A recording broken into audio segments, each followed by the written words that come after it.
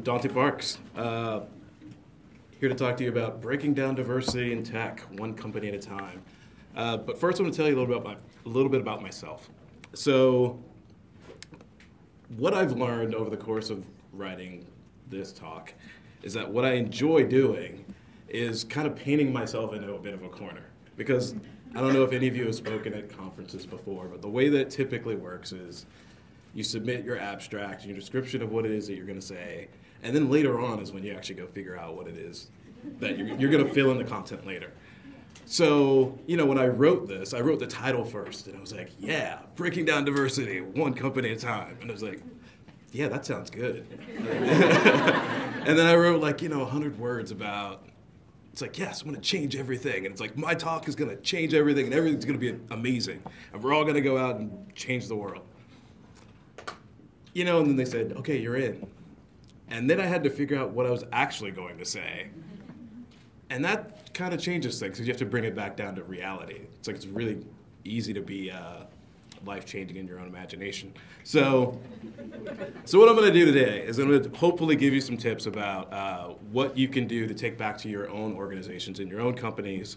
So, I'm not going to say it's going to be the most life changing thing in the world, but hopefully the framework is going to be uh, useful to all of us. Um, you know, and this is going to be based on the experience that we've had at my company, Substantial. So, at Substantial, we build apps. Um, this is the longer description from a sales deck, and it's like, yeah, that's what we do. Short version is we do client services, we build apps. So we're 75 people, we're on Capitol Hill, we sponsor a lot of events. We sponsor Ada. There are a lot of Ada students here. Um, you know, it's like we sponsored this. So, you know, it's like we do a lot of things in the community. It's one of the things that we hold very dear. Um, and my role there is I'm the VP of culture. So, in general, I describe that as my job is to make people happy. You know, um, it's to keep people at a place where they're comfortable, productive, and happy, and that they want to work at Substantial instead of working somewhere else because they can. Um, you know, but one of the things that I will say about Substantial is that we're not perfect at all. You know, like despite my best efforts and everyone else's best efforts, it's like we've made mistakes um, at various points. And, you know, it's like in a recent ish example, you know, it's like, uh, we had somebody that was working for us, did not have the best experience. And one of the things that I told them when they left, because I didn't actually even know that they were having a lot of the issues that they were having, um, I was like, all right, well, here's what I can tell you. It's like I can't t- change the experience that you did have, but I can change the experience that people later on are going to have. And so, you know, we started this program called Spectrum. I announced it at the beginning of this year at our annual company meeting, and the whole whole idea was what can Substantial do to promote diversity, and that extends in a few different ways. It's like, well, what can we do within ourselves to make sure that we're providing a safe environment for everyone that's working for the company. The next level is, well, what are the things that we can do to uh, share that information out in the world and then overall, what are the other things that we can do to just support the overall work that people are doing to support diversity in the community at large? So you got these three levels, and to me, I kind of regarded them as relatively simple goals, but clearly they're not really. It's like there's a lot to every single one of those areas. But as a place to get started, I was like, sure, we're going to do this. And much like painting myself in a corner with this talk, it's like I announced it without really knowing what that meant. I was just like, well, here's what we're going to do. And I can fill in the details on how we're going to do it later. And so, what I'm going to do today is basically tell you kind of the approach that we've been taking in terms of tackling diversity at Substantial. You know, I think this is going to be generalized enough to where this is going to apply to everyone. I've intentionally tried to make it so. Uh, but one of the things that I want to make sure that everyone gets out of this is that all of us have the ability to affect change in the organizations that we're at. Um, and it's not necessarily about being in a position of power. It's like, yes, I have the luxury of being in a position of power, so I can stand up in front of the company and say, we're doing this. And then we do it. Um, not everyone has that ability. That doesn't mean you can't do something anyway. And so a lot of what this is going to be about is how do you do something when you don't necessarily have the authority to do everything. So it's going to be eight steps. I'll go through it. I'll tell you a little bit more about how we've managed to do this.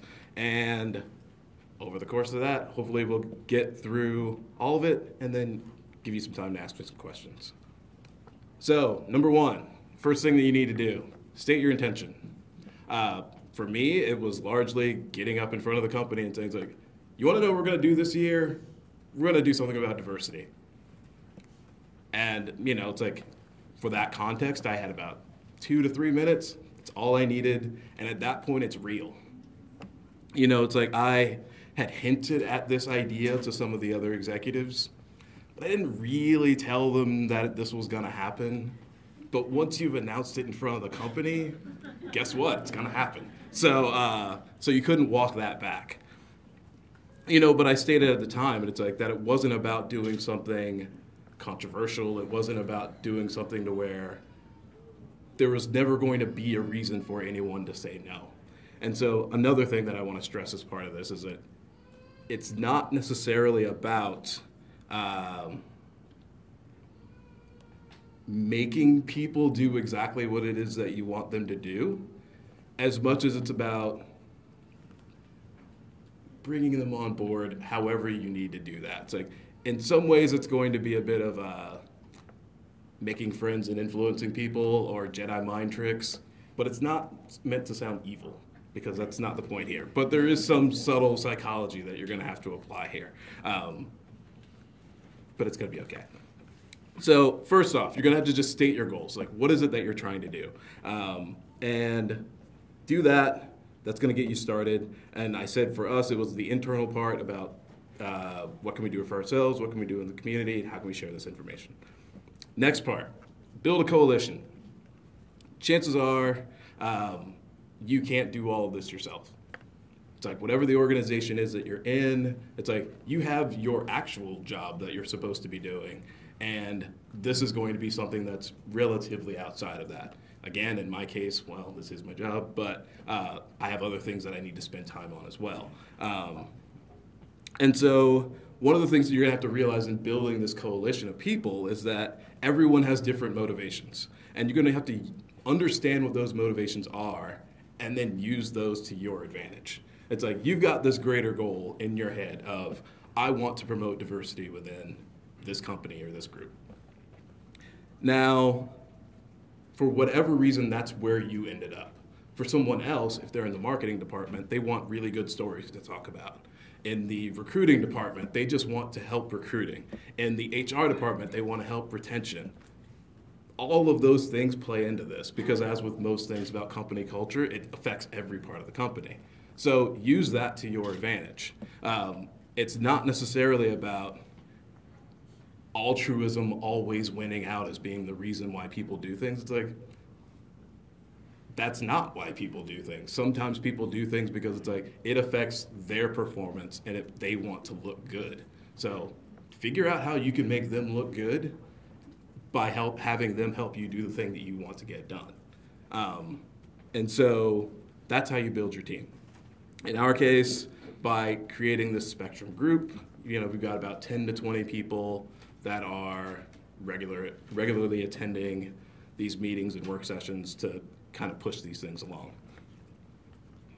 Next up, you're gonna have to listen. Um, so one of the things I'm not going into here is specific topics like implicit bias or recruiting or parental policy, codes of conduct, messaging or accessibility. It's like all of those things are perfectly valid topics, and I could talk about any one of those for this entire time. But at your specific organization, those might not be the things that are most important. So I'm not going to pretend that I know what's most important for your your organization. And the chances are you as an individual don't know what the most important things are either, but you know what the most important thing is to you. So once you've got this group of people together, ask them what are the things that you should be talking about. In our case, we actually did a poll and we had people we listed all the things people were concerned concerned about. We prioritize them, and we've been tackling them kind of one by one.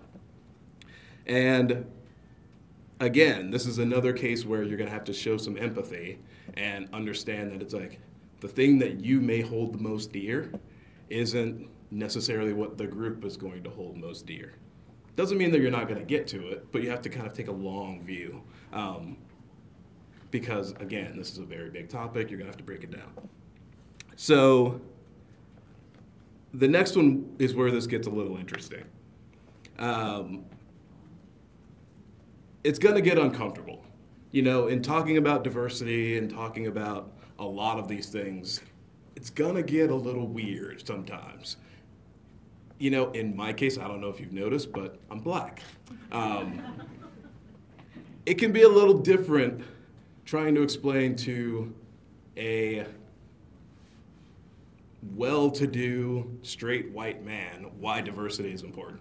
Um, especially when you're working in tech and basically you're working in a room full of high achievers. And it's like, well, clearly we've all figured it out. It's like, yeah, but it's not necessarily about us, for one. And it doesn't necessarily mean that there isn't work that we can and should do. And so that can be an uncomfortable set of conversations that you're going to have to have. Doesn't mean that you don't have them anyway. And then one of the other things to, to realize here is that just because it's uncomfortable doesn't mean you shouldn't do it. You know, one of the early things that I had to talk through with uh, our VP of operations who handles HR for us was, it's like, yeah, you're right. There are all of these kind of landmines that we just can't deal with. But I don't think that's a reason to not do this. It's like, yeah, we might say something wrong sometimes, but just own up to it when you do. Um, and so a lot of it is just accepting that that discomfort is going to happen and then moving on. So once you've decided to work through your discomfort, now what? Well, chances are, again, same way you had to get more people because you can't do it all yourself. It's like, don't try to tackle everything at once. Start small. Um, in our particular structure, we meet, I'm going to say monthly. Um, supposed to be twice a month, but scheduling things happen. But the overall idea is that we get together as a group, we meet, we talk about a topic. One session is going to be about what is the topic, what, why is it important, what are the things that we could and should do. The next session is actually a work session where you talk about how are we going to enact these things that we talked about in the first one. Because chances are there are more people that you need to involve and all of that. So you can't tackle everything. You can't talk about like yes, you can have a conversation that spans that runs the gamut from recruiting to retention to parental policy to disability insurance. It's like you could, but are you really going to be able to kind of wrap your hands around all of it at once? Like probably not. So it's easier to just sort of break that down a bit. You know, Rome wasn't built in a day, and diversity isn't going to get solved in a day either despite the fact that I just said start small, it's like doesn't mean that you don't want to think about the big picture. It's like one of the things that people often forget is that some people think when oh it's about diversity, it's like well that just means you're worried about recruiting and getting more people into the door. It's like no, it's actually about once they're in the door, keeping them there as well.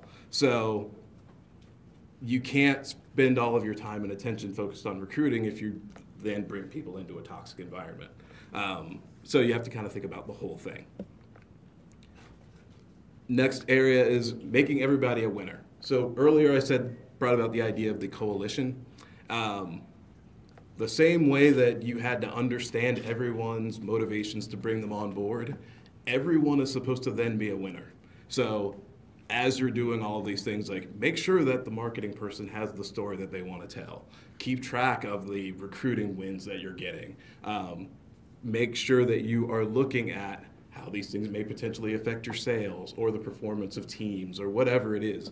But the point is that you're doing all of this work and there are these greater gains outside of just the feel good and the altruism aspects to it. So keep track of those and have all have those advocates understand that those wins are happening even if they're small ones. You know, because that's what's going to keep them as advocates. It's going to help you to allow this to grow over time. And then lastly, you're going to have to be realistic. Again, the same way that you're not going to be able to convince everyone to be part of your efforts, the same is the same reason that you're not necessarily going to be able to tackle everything that you would want to tackle. It's like that's okay. The point isn't necessarily that you're going to be able to tear down the entire mountain yourself. The point is that given everyone in this room, if we go all go out and do something, we can help to make things better in general. It's like a rising tide lifts all ships. Um, and then one of the things that, that also happens is, you know, especially in tech, because it's as competitive as it is, if, let's say, Substantial is doing something good and Nerd is also doing something good and Amazon is doing something good, then the floor for how good you have to be is constantly getting lifted. So, and then you can start to focus on more things because you're trying to look better than everybody else. You know, um, it is a competition as much as it's not supposed to be. So, um, so use that to your advantage, but realize again that it's a long play, not necessarily something that's going to be solved in a week or a month or a year. Um, it's like you're in this for the long haul, hopefully, and so think about it that way. For those of you that want it, here's the full list of everything that I just said. Um, this will also be online on place in places. Um, um, so thank you. And if you want to get in touch, here's my info. Um, I am a little over on my time, so if anyone has any other questions, feel free to find me. I will be around. Uh, thank you.